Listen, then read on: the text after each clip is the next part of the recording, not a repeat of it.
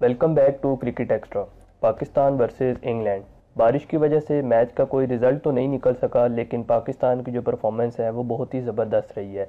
इसके साथ साथ मोहम्मद रिजवान की जो परफॉर्मेंस स्पेसिफिकली है, वो बहुत ही आउटस्टैंडिंग थी और इसी को आज हम इस वीडियो में डिस्कस करेंगे।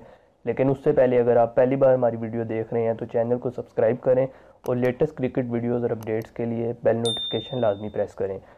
जैसा कि रिसेंटली टेस्ट सीरीज़ में देखा गया था कि मोहम्मद रिजवान पश्तों में बॉलर्स को जो है मशवरे देते रहे थे और उन्होंने अपने रिसेंट इंटरव्यू में भी ये कहा था कि मुझे बॉलर्स के पास जाने की ज़रूरत नहीं होती, मैं उनको पश्तों में ही मशवरे देता रहता हूँ जो कि उनको विकेट लेने में काफ़ी मदद करते हैं।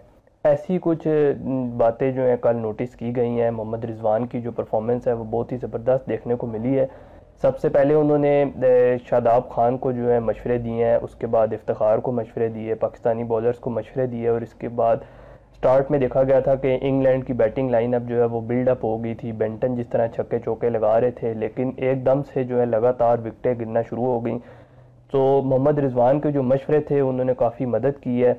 सबसे पहले तो उन्होंने जब मॉर्गन आए तो शादाब को मशवरा दिया कि रिवर्स स्वीप लगाता है और वही हुआ, मॉर्गन ने रिवर्स स्वीप ही खेली।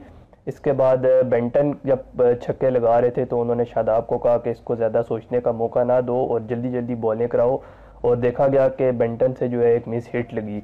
इसके बाद इफ्तार को उन्होंने कुछ पश्तों में कहा, जिसके बाद मॉर्गन जैसे खिलाड़ी की विकेट जो है इफ्तार अहमद को मिली।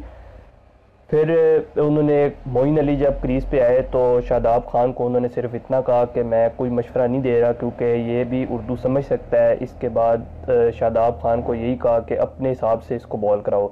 और अगली ही बॉल पर मोइन अली का एक बहुत ही ज़बरदस्त शार्प कैच उन्होंने लिया है मोहम्मद रिजवान ने। तो यूँ जो है, कैच ने जो है, बड़ी अच्छी परफॉर्मेंस उन्होंने शो की है। इसके बाद, सैम बिलिंग्स जब क्रीज पे आए तो उनको एक बड़ा ही तेज़ जो है स्टम्प किया उनका। बहुत स्पीड से उनको जो है स्टम्प आउट किया। सो यूँ जो है परफॉर्मेंस मोहम्मद रिजवान की देखी गई है। अब उनकी बैटिंग की परफॉर्मेंस देखना बाकी है, जो कि एक्सपेक्टेड है कि अगले दो मैचेस में हमें देखने को मिलेगी। इनकी जो रिप्लेसमेंट है, वो टीम में भी पॉसिबल नहीं है और ये सरफराज अहमद से काफ़ी जो है बेटर बैट्समैन है।